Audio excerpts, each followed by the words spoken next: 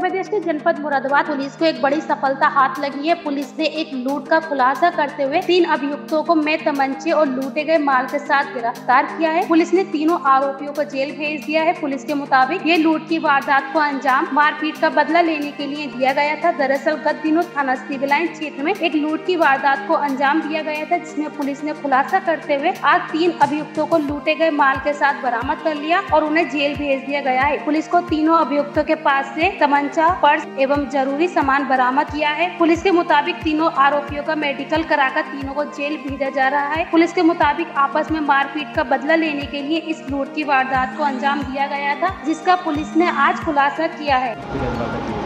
ये वादी है सुशील कुमार। तीस तीस की रात को इनके साथ एक घटना हुई थी लूट की, जिसमें एक साथ को मुकदमा दर्ज किया गया था।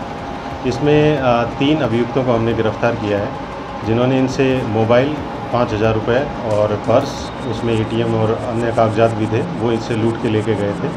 इसमें तीन लोग जो थे, वो गिरफ़्तार किए गए हैं।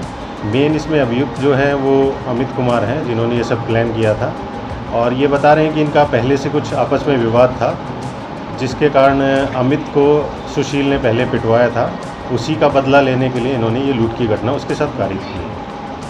पहला भी कोई आपराधिक है इनका इसमें अमित जो है इनका कोई पहले का कोई ऐसा आपराधिक इतिहास नहीं है।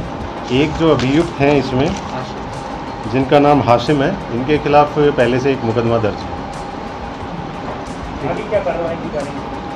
अभी है? इनको अरेस्ट करके जेल भेजा जा रहा है।